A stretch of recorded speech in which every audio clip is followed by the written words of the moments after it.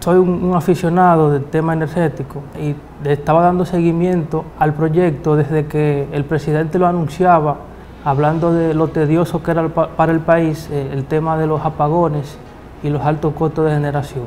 Yo suelo decir que Punta Catalina es el acto más revolucionario que ha hecho al presidente alguno en este país en las últimas dos décadas.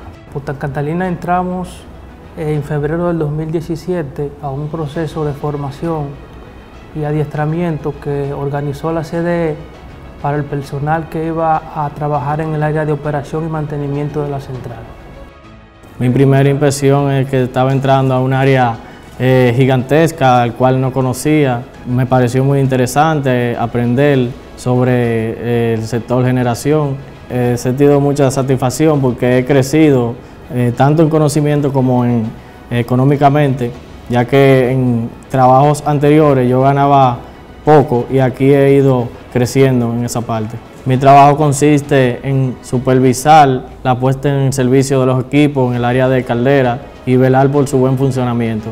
En realidad esto es una escuela. Aquí nosotros nos hemos formado nueva vez, además de la formación obtenida en la universidad, por todo el conocimiento que se nos ha impartido desde que entramos en el 2017. Actualmente estoy desempeñando como ingeniero de planta que vela por la eficiencia y por el comportamiento más óptimo de cada uno de los equipos que tenemos aquí instalados.